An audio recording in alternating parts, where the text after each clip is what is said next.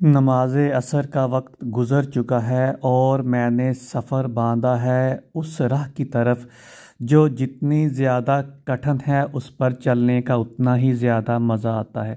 ये है गार सौर।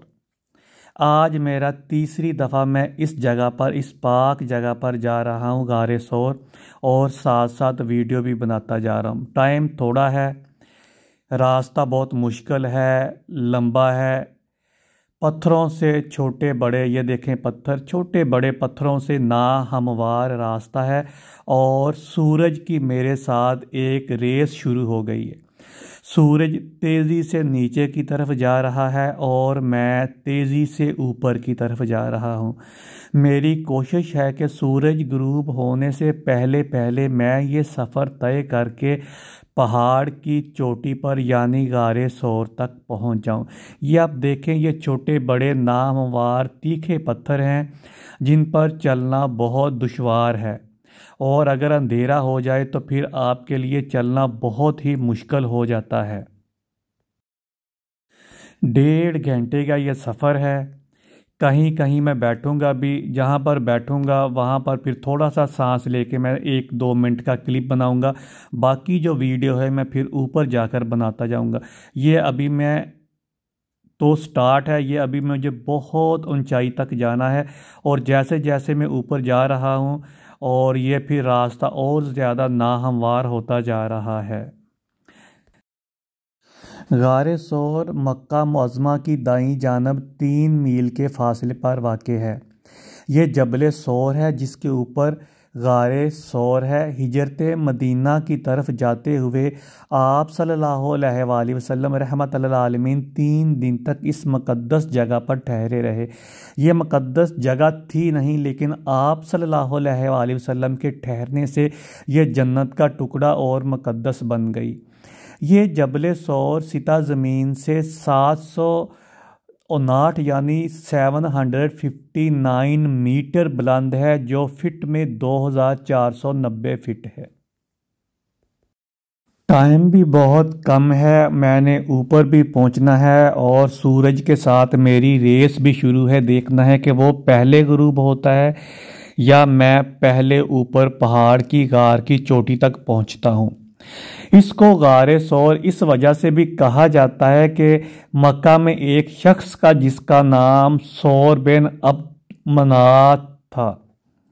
इसे जबल सौर अल कहल भी कहा जाता है। कुरान पाक की सूरत तोबा की आयत नंबर 40 में भी इस पहाड़ का और इस वाक़े का ज़िक्र है, जिसका तर्जमा यह है कि अगर तुम रसूल की मदद नहीं करोगे तो अल्लाह उनकी मदद करेगा। याद करो उस वक्त को जब उनको काफरों ने घर से निकाल दिया था। इस वक्त दो ही शख्स थे जो दोनों गार में थे और उस वक्त पैगंबर अपने साथी को तसल्ली दे रहे थे कि गम ना करो, अल्लाह हमारे साथ है। खुदा ने उन पर तस्कीन नाजर फरमाई और उनकी ऐसी लश्करों से मदद की जो तुम्हें नज़र नहीं आते थे। और काफरों की बात को पस्त कर दिया और बात खुदा ही की बुलंद है और खुदा ज़बरदस्त हमत वाला है।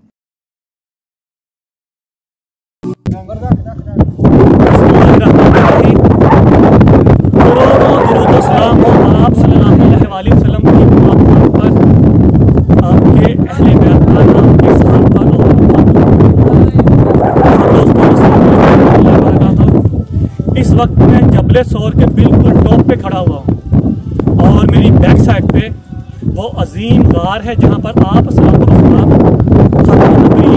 अम्बिया ने तीन दिन और तीन रात तक यहाँ से पूरा जो मक्का है नज़र आता और यहाँ का नज़ारा ऐसा है कि मैं अल्फाज में बयान नहीं कर सकता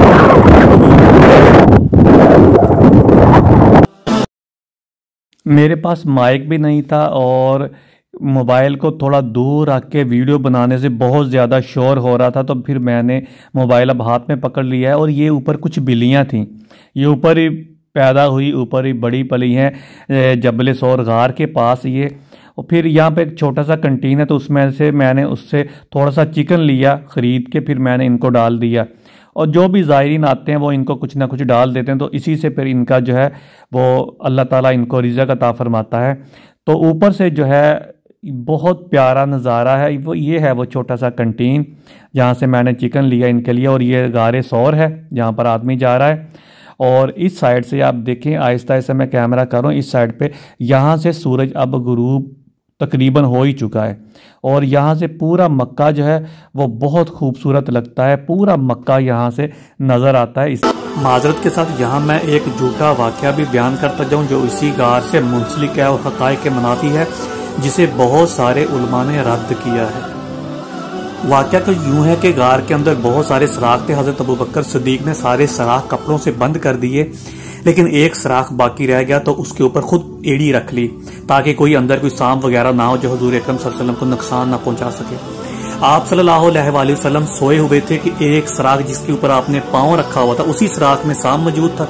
उसने हज़रत अबू बकर सदीक के पाँव पर डस लिए। आपने पाँव तो नहीं हटाया, लेकिन दर्द शिद्दत से आपकी आँखों से आँसू निकल पड़े जो हजूर अक्रम के चेहरे मुबारक पर गिरे। आप उठे, आपने फरमाया कि अबू बकर, क्या हो? तो हज़रत अबू बकर ने पूरा वाक्य बयान कर दिया।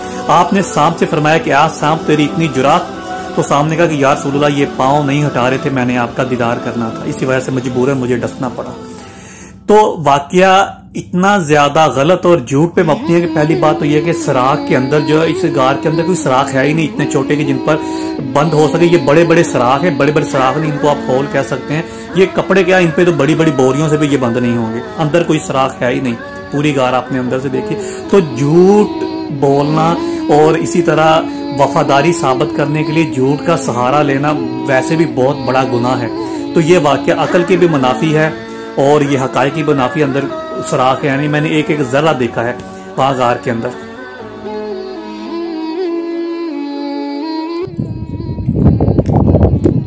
ये गारे सौर का वो दहाना है, जहाँ पर दूसरी साइड से इंटर हुआ जाता है और जियारत करके दुआ करके, नफर पढ़ के इस साइड से फिर निकला जाता है। पहले ये जो दहाना है, बहुत छोटा हुआ करता था। यहाँ पर जो है लोग फंस जाते थे। फिर आठवीं सदी हिजरी के हुक्मरान ने इसको थोड़ा खुला करवा दिया। तब से लेके 600 साल हो चुके हैं ये दहाना बिल्कुल उसी तरह है। ये गार सौर है, वो मुकदस और वो पाक जगह जहाँ पर आप असलात वसलाम रहमत आलमीन सैदुलमरसलिन इमामबिया और हज़रत अबू बकर सदीक रज़ी ने तीन दिन और तीन रात यहाँ पर क्याम किया था। यहीं पर, इसी जगह पर जहाँ पर मैं बैठा हुआ हूँ, बिल्कुल चट्टान है, सख्त पत्थर है, लेकिन उस वक्त यहीं से एक दरख्त, एक झाड़ी नमोदार हुई थी, जिसने इस दहाने को भी छुपा लिया था। और उसी दरख्त के ऊपर कबूतरों ने अंडे दिए थे, और दूसरी तरफ़ जो था, वो मकड़ियों ने जाला टन दिया था। कफार जब यहाँ तक आए तो उन्होंने देखा कि यहाँ पर झाड़ फूक उगी हुई है और जंगली परिंदे बैठे हुए हैं तो इसका मतलब है यहाँ पर कोई भी आगे नहीं हो सकता तो वो फिर यहीं से पलट गए। उनके जो पाँव थे, वो दूर से हज़रत अबू बकर सदीक ने देखा तो वो डरे। तो आप असलात वसलाम ने फरमाया कि मत खौफ कर, अल्लाह हमारा परवतगार हमारा नुसरत करने वाला है।